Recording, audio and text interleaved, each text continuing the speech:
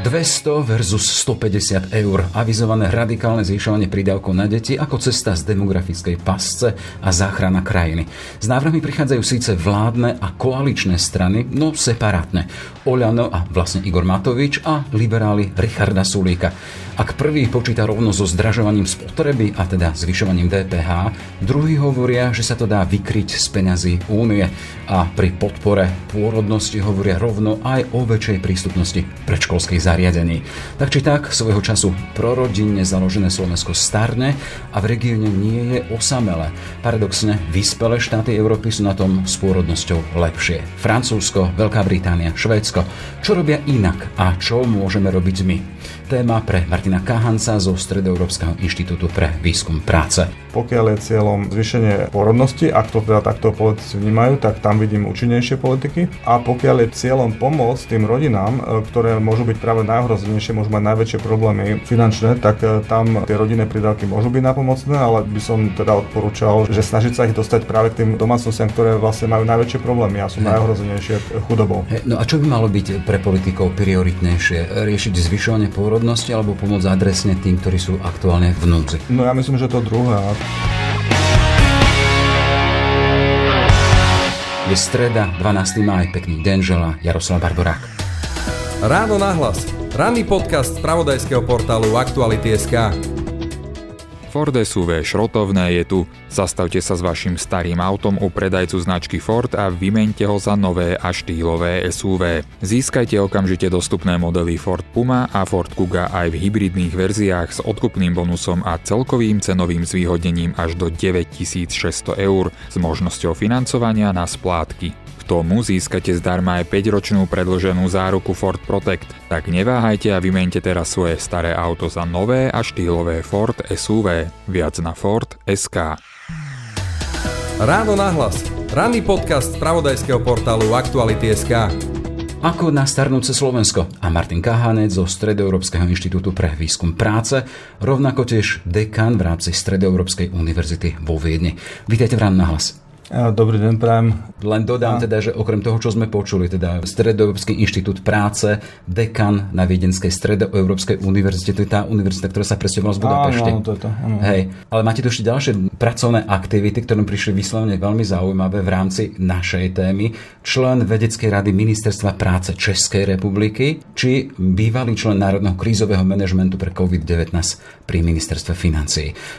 Predpoklad pre vhľad do problému. No tak e, dúfam, že teda viem k tomu niečo prispieť, aj keď samozrejme musíme byť trošku skromní v tom, že kam až siaha to naše poznanie, ale niektoré tie skúsenosti teda vieme nejak reprodukovať z tých mm-hmm. iných krajín. A tak ako ste aj ako správne povedali, že pozeráme sa tu na tie vyspelé krajiny, pretože e, vlastne tá demografická situácia na svete sa dá tak rozdeliť na dve, dva také základné tábory a to sú tie povedzme, že menej rozvinuté krajiny, kde e, je tá populácia o mnoho mladšia, dynamickejšia s vysokou pôrodnosťou a potom máme tie vyspelé krajiny, krajiny, kam patrí aj Slovensko, kde vlastne sa nejak musíme vysporiadať so starnutím populácie a s ďaleko menšou pôrodnosťou, teda uh, máme ďaleko menšie počty detí. Ja keď som uh, sa narodil 1977, bolo tam takmer 100 tisíc detí na Slovensku narodených a teraz máme niekde okolo 55. Čo sa týka jedného roku? Tak? V jednom roku, mm-hmm. áno. Uh, teraz máme okolo 55-60 tisíc uh, detí Čiže polovica. Uh, narodených. To znamená, že tam je dosť uh, veľký rozdiel. My samozrejme teraz žijeme dlhšie, to znamená, že to ako čiastočne kompenzuje, a teda kompenzuje to, to že nám populácia neklesá, tiež máme nejaké pozitívne imigračné saldo, ale tá populácia starne. No a v rámci, keď ako ste to aj povedali, že v rámci um, týchto vyspelých krajín, v rámci Európy, naše krajiny v tomto regióne, e,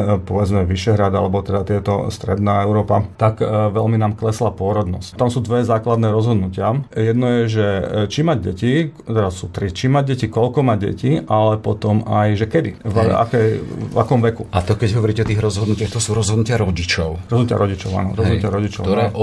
Ovplyvňujú ale politiky a kontext, v ktorom žijú. Áno, isté, isté. A vlastne prečo nám klesla tá porodnosť, e, bolo to, že jednak menej detí, e, tí rodičia sa rozhodli mať, ale aj neskôr. A to vlastne tie odložené, odložené, porody. E, odložené pôrody vlastne potom spôsobili to, že sme tu mali taký prepad pôrodnosti a to sa nám trošku teraz ako obracia, že trošku tie odložené pôrody teraz nám prispievajú teda k tej pôrodnosti, aj keď na druhej strane odložené pôrodov spôsobuje potom aj to, že celkový počet detí je menší vyšší, pretože už tá schopnosť mať deti trošku klesa s vyšším vekom, a ty, alebo už nie je tam nejaký priestor a preto vlastne odložené pôrody e, na tú celkovú pôrodnosť majú negatívny dopad. Hej, poďme sa generálne dotknúť toho, že nakoľko je vážny ten problém demografie alebo toho starnutia populácie, s akými možnými dôsledkami musí krajina počítať, keď hovoríme vyslovene teraz o kríze alebo o výkričníku demografie alebo o demografickej pasci No, ohľadom stárnutia populácie a tých demografických zmien vždy je väčší problém tá zmena, ako to, že kam to nakoniec e, dokonverguje. To znamená, že nám keď hrozí nejaký pokles populácie alebo starnutie populácie, tak je dosť ťažké pre spoločnosť sa s tým vyrovnávať z dôvodov udržateľnosti systému dôchodkového zabezpečenia, kde vlastne sa nám zmenšuje počet ľudí, ktorí sú aktívni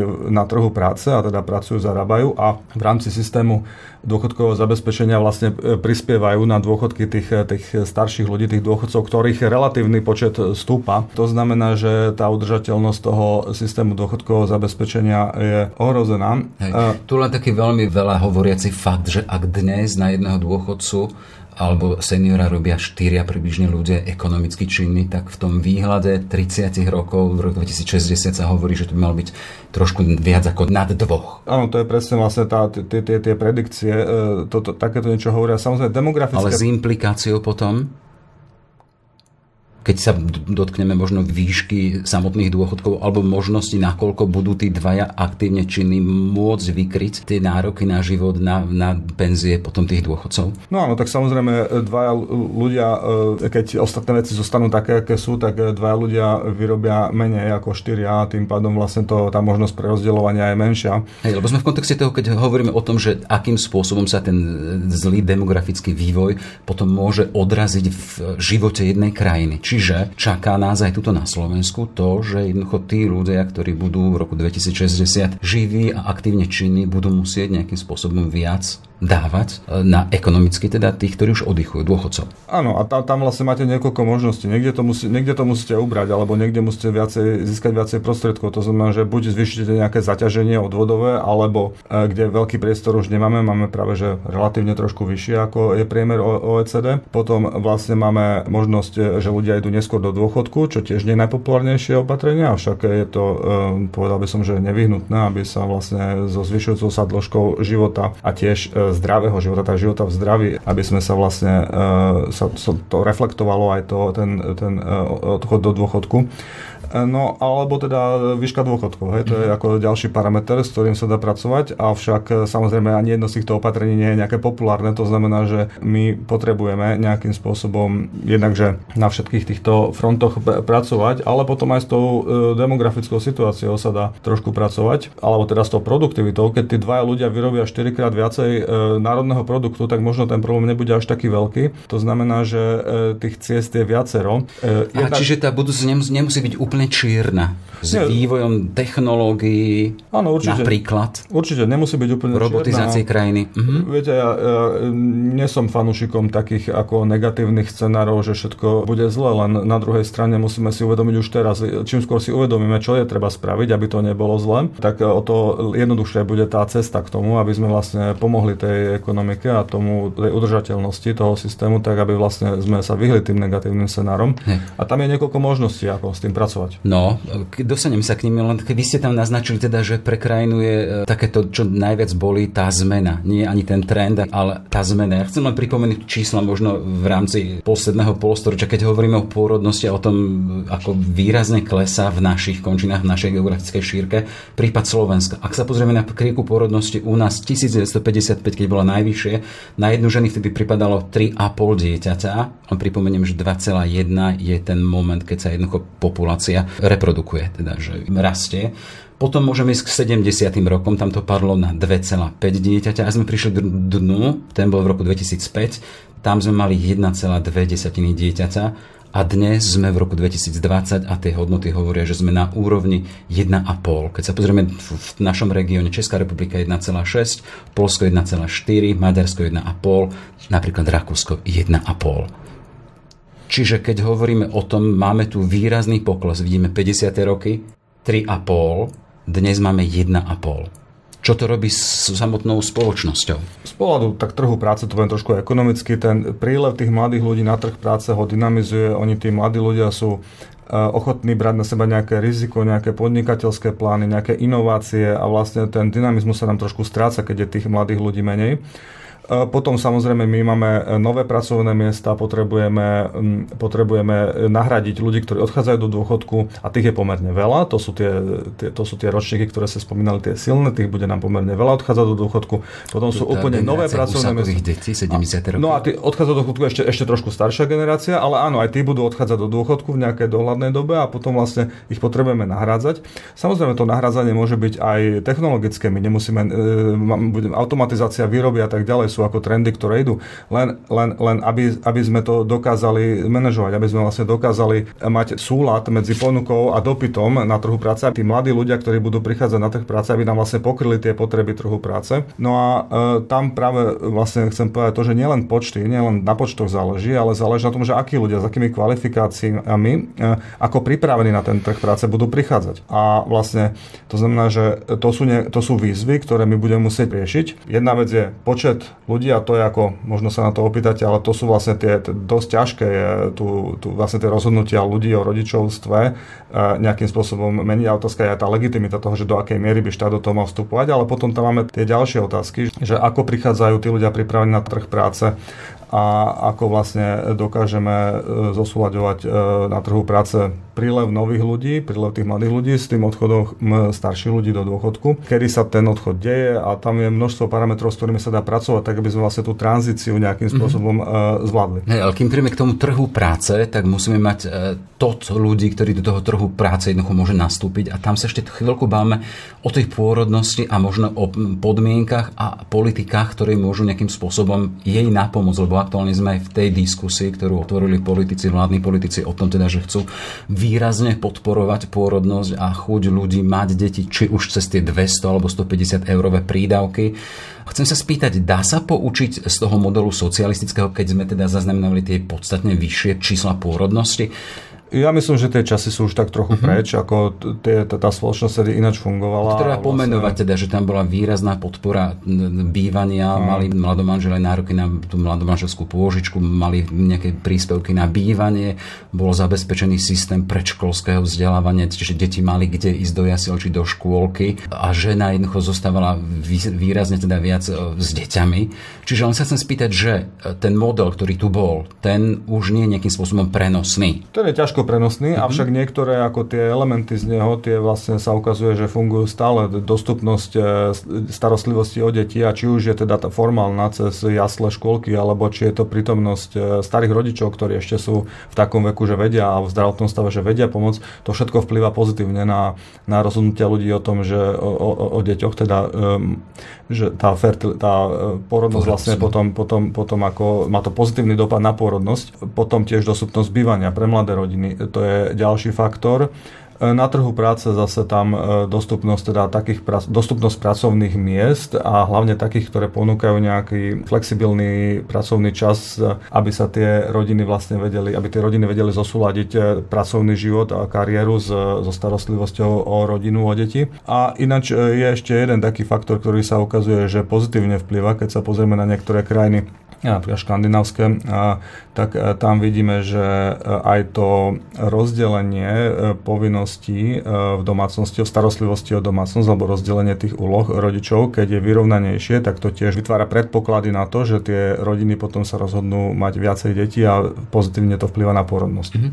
Poďme k tým príkladom zo zahraničia. Zase len sa vrátim k číslam, keď sme hovorili, teda sme predstavili ten náš región a keď chceme hovoriť o príklade úspešnejších krajín, čo sa týka e, pôrodnosti, Švédsko 1,9 dieťaťa na jednu ženu, Francúzsko 1,9, Veľká Británia 1,8.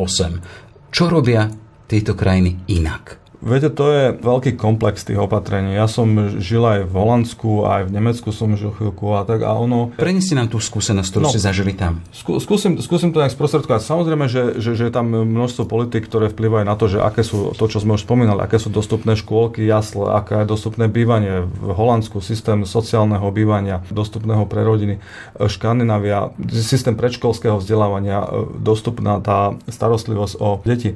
Ale je to aj taký kultúrny fenomén trošku. My vidíme, je hodne vidieť napríklad rozdiel medzi Nemeckom a Holandskom, kde v Holandsku e, mať deti a väčšie rodiny sú ako kultúrne niečo, čo je viacej ako... Vžité? Vžité, áno, ďakujem pekne, to je výborné slovo, vžité v tej spoločnosti a vidíte to v mnohých detailoch. Napríklad? E, v Nemecku napríklad vidíte... E, ja poviem, že Nemecko má nízke číslo 1,35. Má relatívne nízke čísla a vy vidíte napríklad v televízii re- reklamné nejaké spoty, kde nemať deti a zvoliť treba pivo na miesto teda tej rodiny e, v nejakom tom kontexte je, je, je, je ukazované ako niečo, um, ako by som to povedal, že pozitívne, ale... Um, ale to v tom zmysle teda, teda že, že zvoliť si pivo na miesto investovania do detí nie je dobrá vec. No práve, že v tom Nemecku je to ukazované a, ako, že Nemecku, niečo, niečo ako, že cool, hej. V Nemecku máte tie reklamné spoty, no. kde niekto si zvolí radšej teda ten produkt, pivo pred rodinou a je to ukazované ako niečo také pozitívne alebo niečo, čo má, má nejak osloviť tých ľudí. A to sú a vidíte v Holandsku... To je príklad toho, keď obchod a hospodárstvo a biznis je nad možno, možno zaujímami teda či prorodinnej politiky štátu alebo vyslovene toho vžitého rodinného. Viete, ja si nedovolím krajiny. komentovať ako keby takú tú, že tú kultúrnu, ja som to len ako vnímal, že samozrejme máme nejaké politiky, e, ktoré sme už tu spomenuli a potom vidíte aj to, ako tá spoločnosť funguje. Vidíte v Holandsku matka, otec s troma deťmi na bicykli, ako si zdieľajú tú starostlivosť o domácnosť. V Nemecku veľmi veľký počet, veľmi veľký veľký počet párov, ktoré sa rozhodnú nemať vôbec deti. A je to tam považované ako za niečo, aspoň teda v tom, tá moja anekdota, anekdotická skúsenosť, to nemám na to nejaký výskum práve na toto, ale je považované za niečo ako nejaký štandard, nejaký ako keby nejakej časti spoločnosti, hej, že to je vlastne ako keby akceptované. Čo je samozrejme ich rozhodnutie, ja si to nedovolím komentovať, ale potom vlastne vidíme nižšiu pôrodnosť. Hej, a potom vlastne pre tie politiky štátu je to niečo, s čím sa musí um, vysporiadať. Alebo... Ak vy hovoríte o skúsenosti tam z Holandska napríklad, o tom, že si vedia medzi seba rozdeliť rozdeliť rodičovské povinnosti rodičia, aké majú na to predpoklady a tá báza, ten základ v rámci tých rodinných a štátnych politik. Čo im umožňuje systém? Mm. Holandsko napríklad má veľmi vysokú flexibilitu na trhu práce a veľmi vysoké percento e, zamestnancov pracuje na čiastočné úväzky, rôzne flexibilné úväzky a vlastne si to môžu ako dovoliť nielen z pohľadu finančného, ale aj vlastne to úplne akceptovaná forma práce, kde častokrát máte e, ľudí, ktorí viete, že niekto pracuje, nejaký kolega pracuje len v pondelky, štvrtky a piatky. A ďalší a potom vlastne, ale je to ako úplný bežný štandard.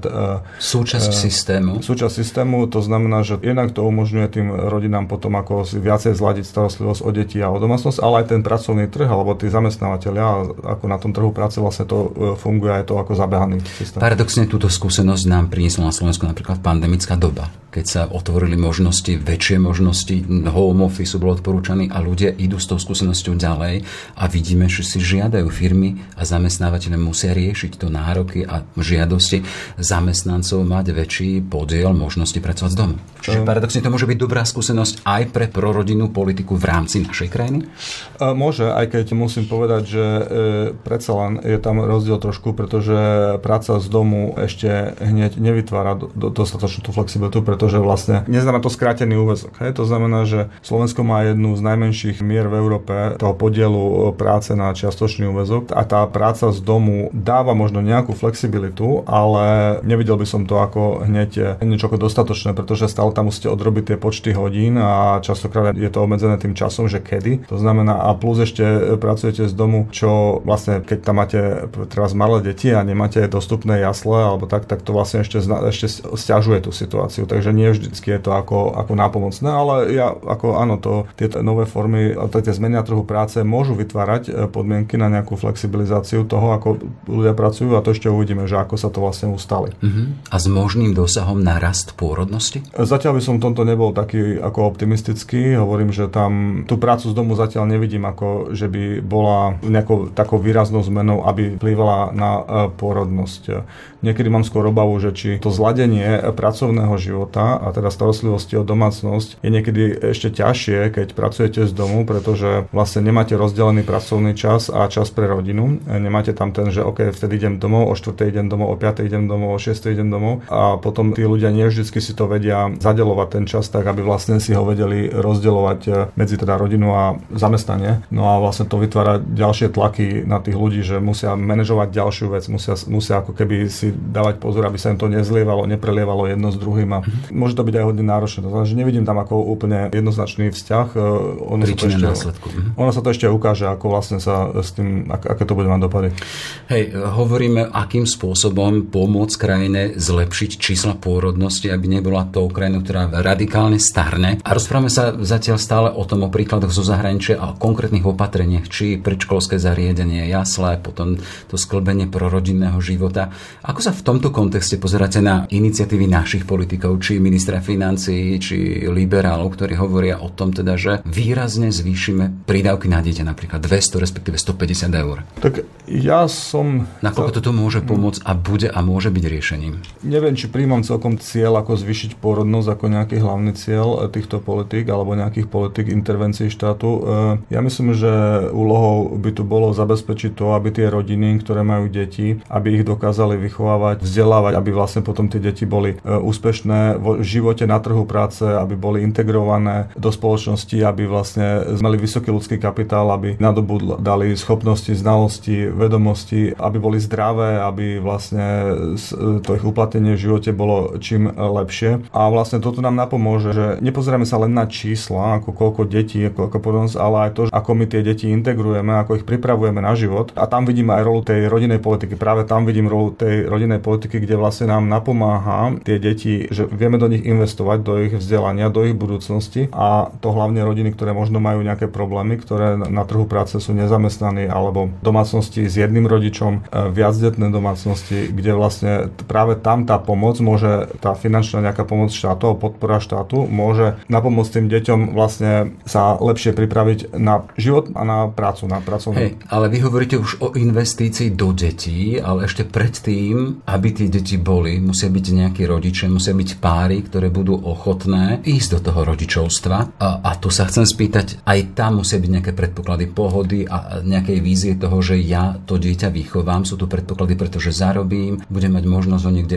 umiestniť, aby som mohol pracovať, bude tu systém školstva, bude tu systém pomoci, či už úzkej rodiny alebo širšej spoločnosti. A tu sa chcem spýtať, čo štát môže robiť preto, aby to takýmto spôsobom urobil. No ono je to prakticky to isté. Hej? Ono, keď vlastne tá, tí rodičia môžu sa nejakým spôsobom spolahnúť na to, že ten štát vlastne ich podporí ako, e, ako rodiny a podporí vlastne nejakú zdravú výchovu detí, napríklad aj e, tým, že sú tie, a teraz prichádzam k tej otázke konkrétne, čo, čo môže robiť, no tak keď, keď sú tam dostupné, dostupná predškolská starostlivosť, e, dostupné bývanie, dostupná zdravotná starostlivosť, že vlastne o, tie deti sa tie rodičia vlastne vedia im zabezpečiť lepšie podmienky alebo pre, teda, pre ich zdravý vývoj. Plus e, potom dobré podmienky na trhu práce, kde rodičia vedia zladiť pracovný život s rodinným životom, to znamená, že flexibilné úvesky. Tak toto všetko všetko je pozitívom pre výchovu detí, ale, ale tiež je to pozitívom preto, že vlastne tí rodičia, ktorí môžu očakávať takúto vyššiu kvalitu života, um, tak vlastne majú väčšiu pravdepodobnosť, že aj majú tie deti. Mm. Že to znamená, že to zvyšuje aj porodnosť, keď mm. vlastne tí rodičia môžu očakávať, že o tie deti sa budú vedieť postarať a zabezpečiť im kvalitný vývoj a nejakú kvalitnú budúcnosť. No a nakoľko to môže pomôcť to, keď sme v kontexte toho, že sa bavíme o tých 200 alebo 150 eurových prídavkoch na dieťa? No aj skúsenosti z iných krajín krajín ukazujú, že nejaké tie detské prídavky môžu jemne pomôcť, ale tie efekty sú veľmi malé. Do rozhodovania o deti vstupujú tie iné faktory o mnoho výraznejšie a z pohľadu štátnej politiky sú lacnejšie. Lacnejšie v zmysle takom, že ten e, efekt, ktorý dosiahneme v zmysle hodnoty za peniaze, že to, čo do toho investujeme, do povedzme do dostupnejšej predškolskej starostlivosti alebo do jasly, tak e, vlastne sa nám o mnoho viacej vráti v zvýšenej pôrodnosti ako nejaký príspevok finančný. Mm-hmm. Ja nechcem, e, ja, ja vidím zmysel uh, detských teda prídavkov, rodinných prídavkov a v tom, že vlastne práve tým rodinám, ktoré môžu mať najväčšie problémy ekonomické, tak môže pomôcť uh, pri výchove detí a to znamená, že ja nehovorím, že, že, že nie, ale keď teda cieľom zvýšiť pôrodnosť, uh, tak na to sú o mnoho účinnejšie politiky. A povedz len konkrétne príklady. No, ak nie je celoplošné zvyšovanie prídavku takéto radikálne vyššie, tak čo? No to som už povedal vlastne niekoľkokrát, že je to dostupnosť tej predškolskej starostlivosti, dostupnosť e, bývania uh-huh. pre mladé rodiny a zladenie teda toho pracovného života s rodinným e, životom, to znamená, že dostupnosť pracovných miest a hlavne teda keď poskytujú flexibilné, flexibilné uh, pracovný čas. Hej. Medzi týmito návrhmi koaličných strán, ktoré ale teda sme tam počerpli, že prišli separátne, je aj taká tá polemika medzi tým, že ak minister financií Matovič hovorí o tom, že by tá jeho navrhovaná reforma stála nejakých vyše 2 miliardy, tak liberáli hovoria, že tie ich opatrenia, kde ešte k tomu prichádza teda, že chcú investovať aj do predškolských zariadení, tie by sa dali vykryť z európskych peňazí, z eurofondov. Je toto reálne teda? Ako je to reálne v zmysle, že mali by sme sa to snažiť, pretože tá dostupnosť predškolskej starostlivosti je veľmi biedna na Slovensku. Tak, aby, aby to bolo veľmi jednoznačné. Má Slovensko na to, aby zaplatilo e, reformu, teda to radikálne zvýšenie rodinných prídavkov za 2,5 miliardy v tom balíku s tými ďalšími reformami, alebo je to skôr schodnejšie to, keď hovoria liberáli, teda, že naša reforma, keď hovoríme o 150 eurách prídavkov na dieťa a s tým teda, že chceme investovať aj do škôlok, nebude stať nič štát, lebo to vykrieme z eur peňazí. Ktorá z týchto ciest je reálnejšia? Slovensko má na to, aby si vybralo hoci ktorú z týchto ciest, len otázka je, čo tomu obetuje, no. čo, čo, čo za to dá. Hej a vlastne aké to bude mať efektívne dopady, že vlastne jednak, že čo nás to bude stať a potom, že aký bude naozaj ten efekt. E, ja sa obávam, že zvýšenie e, detských prídavkov je niečo, čo môže tým rodinám pomôcť finančne, môže pomôcť hlavne tým, ktoré sú najohrozenejšie. A ak by to vlastne bolo cieľom to, že pomôžeme tým rodinám a ak by to teda sme dokázali tým, e, teda čím adresnejšie tým rodinám poskytnúť. Čiže nie celoplošné, ale vyslovene to adresovať na konkrétne prípady hmotnej núdze, ale alebo... No hlavne mne sa zdá, že teraz je tam ešte taký vlastne akoby ďalší argument, ktorý sa okolo tej, tejto témy točí a to je to, že určitá zásluhovosť, že vlastne viacej dáme tým rodinám, kde rodičia pracujú. Mm. Lenže práve tie rodiny, kde rodičia možno majú väčšie problémy a kde možno nepracujú, tie, práve tieto môžu potrebovať oveľa viac. To znamená, že ja to, do akej miery vieme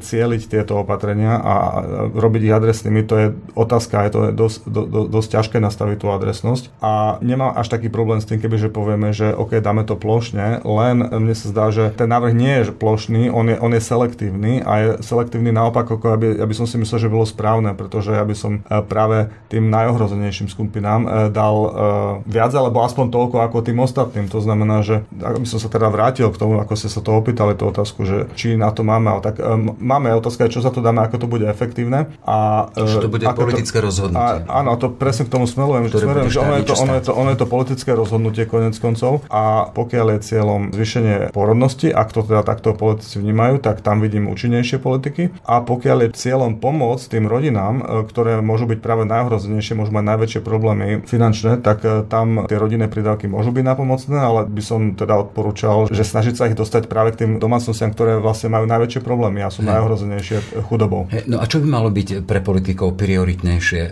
riešiť zvyšovanie pôrodnosti alebo pomôcť adresne tým, ktorí sú aktuálne v núdzi? No ja myslím, že to druhé. Ako zvyšovať porodnosť. Tá demografická situácia je nejaká výzva a je tam viacero možností, ako ju riešiť. E, ja myslím, že e, cieľom by malo byť podporovať tie rodiny, podporovať tie deti e, tak, aby sme vlastne dokázali vychovať úspešné ďalšie generácie, pripravovať ich na život, pripravovať ich na trh práce. Ono to potom bude mať aj pozitívny dopad na porodnosť. Ja len uvidím, že existujú štúdie, ktoré riešia, či môžu vlády zvrátiť ten neželaný pokles pôrodnosti. Napríklad budeme Elizabeth Brainerd z jednej z amerických univerzít, ona prichádza k záveru, že tým potrebným mixom má byť je až kombinácia prorodinných opatrení typu výhod pri riešení bytovej otázky či starostlivosti o deti, ako sme hovorili, ale k tomu dodáva zriadenou imigráciou. A to hovorí o našom regióne. Áno, k tomu, k, to, k tomu smerujeme už vlastne celý čas, ako sa rozprávame, že... Čiže bez že... ľudí, ktorí prídu k nám zvonku, to nedáme. No, e, vždycky to nejakým spôsobom dáme. Otázka je, že ako. My vlastne máme nejakú demografickú výzvu, na ktorú musíme reagovať a e, toto sa snažím povedať vlastne celý čas a ešte raz to zdôrazním, že je dosť veľa možných e, riešení, respektíve dosť veľa opatrení, ktoré spolu nám môžu pomôcť to riešiť. Hej. To znamená, že nemôžeme sa sústrediť len na jednu vec, akože OK, tak e, porodnosť je nižšia, tak poďme riešiť porodnosť. To je relatívne malá časť toho, no áno, odtiaľ veľa vecí vyplýva, ale je to relatívne malá časť. Pretože keď ten menší počet detí bude násobne viacej produktívny, bude viacej šťastný a bude mať lepší život, tak možno nás to nemusí až tak trápiť, že ich je menej. Možno, že je to z pohľadu environmentálnej nejaké udržateľnosti ešte lepšie, že nebudeme tak preťažovať tú prírodu treba. Ako, takže nevidím ako okamžite to ako jedinú, jedinú vec. Tam vlastne sú ďalšie aspekty, ktoré treba zohľadniť, alebo respektíve ďalšie tie, možnosti riešení je tam viacero a to je to, že investujme, teda robme politiku tak, e, alebo tie opatrenia tak, aby tí rodičia dokázali tie deti vychovávať, e, investovať do ich vzdelávania, do ich kvality ich života a tam vlastne e, jedným zo spôsobov, ako jeden z toho celého diapazónu vlastne možných riešení je aj imigrácia. A ja by som to nazval ešte trošku ináč a to je súťaž o, o talenty. To je to, že keď Slovensko je dobrou krajinou pre život, tak takisto sem prichádzajú potom ľudia zvon e, a namiesto toho, aby sme 10 tisíce našich mladých ľudí strácali tým, že odchádzajú študovať do zahraničia, čo samo o sebe je úplne v poriadku, že idú študovať do zahraničia, oni sa aj nevracajú. A potom my nielen, že máme nízku pôrodnosť, ale nám ešte tí mladí ľudia odchádzajú preč. Čiže politici by sa a... mali snažiť priťahovať, to, to je taký ten úplne iný obraz tej imigrácie, ako hovoríte, lebo hovoríte vy súťaž o talenty, o ľudí, ktorí sú kvalitní a môžu nám čo si dať, ale toho, akože z toho vyplýva aj to, že politici mali zápasiť už o tých, ktorí odchádzajú od nás, Slovákov, ktorí do zahraničia mladí a potom tých kvalitných, čo sú zasa vonku, aby šli k nám, hej? Áno, áno, tak ako ste to povedali, že vlastne e, snažiť sa udržať ľudí na Slovensku a nie v zmysle, že by nemali študovať do zahraničia, to je úplne v poriadku, nech idú, ale keď vlastne nám odchádzajú také kvanta a potom tam zostávajú, tak potom už je to problém. Hej? To znamená, že v ideálnom prípade kľudne nech idú na najlepšie školy, aj polovica ročníka nech ide na najlepšie školy, ale potom nech sa vrátia. To znamená, že to, no a toto vlastne je spôsob, ak tú krajinu budeme správovať a budovať tak, že vlastne bude dobrým miestom pre život, tak oni sa tí ľudia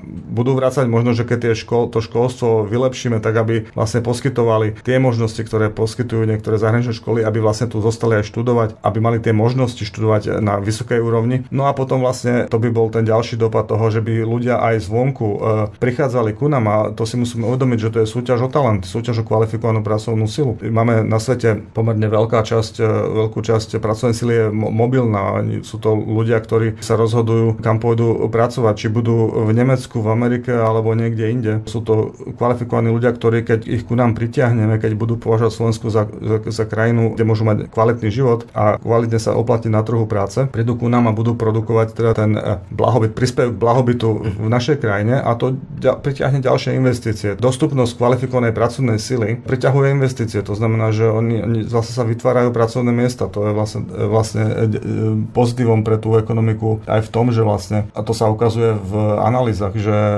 migrácia, najmä keď, keď je migrácia pracovná, kde vlastne tu ľudia prichádzajú do danej krajiny s cieľom pracovať a tým pádom aj vlastne sú pomerne dobre pripravení na tú integráciu na trhu práce, tak to vytvára ďalšie nové pracovné miesta aj pre tú domácu populáciu. To je niečo, čo možno nie je úplne intuitívne, ale keď sa zamyslíme nad tým, že vlastne nás už aj na Slovensku, to, to teraz je síce kríza, ako chvíľku, ako nejaký čas bude trvať, ale my vnímame, že máme veľký nedostatok kvalifikovanej pracovnej sily na Slovensku a tí migranti, to sa ukazuje v dátach, že oni práve idú do tých sektorov povolaní a do tých krajín, e, kde je práve nedostatok kvalifikovanej pracovnej sily. To znamená, že oni vlastne vyplňajú tie úzke miesta ne. a umožňujú vlastne dynamizáciu tej ekonomiky. Predstaviteľný príklad napríklad ukrajinských lekárov na Slovensku. Napríklad, ale máte... Alebo slovenských lekárov v Česku či v Nemecku. Môžu to byť lekári, ale môžu to byť napríklad, e, potrebujete otvoriť novú fabriku e, v, v automobilovom priemysle a potrebujete nástrojárov.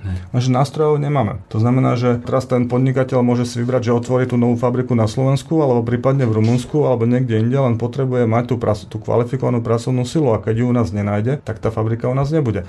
To ako, samozrejme, že tých, tých procesov a to je o mnoho ako, je to možno trošku zjednodušený pohľad, ale dostupnosť kvalifikovanej pracovnej sily je veľmi významným faktorom, kam sa tie investície umiestňujú. Hey, vy si spomínali, že v tej svojej profesnej histórii, tej osobnej histórii máte skúsenosť z viacerých krajín. Čo vás pritiahlo, aby ste sa vrátili na Slovensku? Aktuálne si sa vyučujete vo Viedni na Stredoeurópskej univerzite, ale máte aj túto, ten inštitút v Bratislave. Čo vás pritiahlo, že by ste sa vrátili tuto a robili na Slovensku? Tak, Ako sme spomínali, boli ste členmi viacerých komisí, či na ministerstve financí, či v Českej republike, čiže ten svoj vklad prinášate, vraciate. Čo vás pritiahlo? Áno, ja myslím, že to je tá, taká tá vnútorná motivácia prispievať tej spoločnosti na Slovensku. To znamená, že keď to mám povedať jedným slovom, tak je to srdce a keď to mám povedať ako tak trošku zložitejšie, tak vlastne Slovensko je dobrá krajina na život, dá sa tu uplatniť, dá sa tu naplniť nejaké profesné ciele. Máme tu blízkych ľudí, to znamená, že mm, to bolo množstvo faktorov, ktoré nás e, pritiahlo. A... Ale keď nás počúvajú niektorí teda nezainteresovaní ľudia, si no tak dobre sa ti hovorí, keď teda pracuješ vo Viedni a žiješ v Bratislave napríklad. No isté, ale my sme napríklad na Slovensku sme založili inštitút s manželkou, e, ktorý zamestnáva niekoľko ľudí, e, ktorí možno by skončili mimo Slovenska, ale vlastne aj tým, že máme výskumný inštitút, ktorý je podľa niektorých štatistík jeden z najlepších nejak v regióne, tak vlastne umožňujeme tým ľuďom nejaký kariérny rast alebo uplatnenie sa na Slovensku a to je aj naše uplatnenie. Moja manželka napríklad tiež pracuje v tom inštitúte. To znamená, že nie je to celkom tak, že aha, že ja pracujem vo Viedni, a, ale my bývame, žijeme v Bratislave a vytvárame pracovné miesta aj pre ľudí, ktorí možno ináč by skončili v iných krajinách. To znamená, že dá sa na Slovensku, ešte v našej branži to môže byť trochu ťažšie vo výskume, ale biznis sektore e, už sú lukratívne pracovné miesta na Slovensku dávno, takže e, ten, ten návrat na Slovensko je ako z tohto pohľadu nie je nejak problematický. Hej. Už len na záver, len zaujímavé, som si od začiatku všimol teda na vašej ruke, na vašej pravej ruke mozol. Výskumník má poriadny mozol. Minule to bolo v televízii a deti ani nevedeli odpovedať, že čo je mozol. Čiže deti na Slovensku niektoré už nepozna, nepoznajú mozole. Vy ako výskumník, vedec, profesor na svojej ruke máte mozol. Tak čistíte hlavu? No áno, akože máme zahradu, v e, zahrade kosím aj s takouto staromodnou starou kosou teraz nedávno, tak mo- mozol znamená, že, že, že, že no ja toto takto neviem. Čiže Inštitút pre výskum práce to nie je len teda doplňate aj to praktickou fyzickou robotou. No, áno, viete, ja som z generácie, keď ešte sme, tak e, keď to zjednoduším, všetci vedeli všetko. Keď dnes e, nejaký nástroj e, používam, možno, že nejakí mladší ľudia povedia, a to sa mi aj stalo, že ja som si myslel, že dnešní muži to už nevedia. A ja aj na to odpovedám, že možno nie som dnešný už. Ako, že, že, že, že, ešte v tej generácii sme robili všetko, no a tak to ako to nejak, áno, prevetram si hlavu trošku. Dobre, naše demografické a pracovné výhliadky a Martin Káhanec zo Stredoeurópskeho inštitútu pre výskum práce. Pekný deň a všetko dobré vám prajem. Ďakujem pekne a do počutia. Ráno nahlas. Ranný podcast z pravodajského portálu Aktuality.sk Sme v závere. Ešte pekný deň želá Jaroslav Barborák. Všetky podcasty z pravodajského portálu Aktuality.sk nájdete na Spotify a v ďalších podcastových aplikáciách.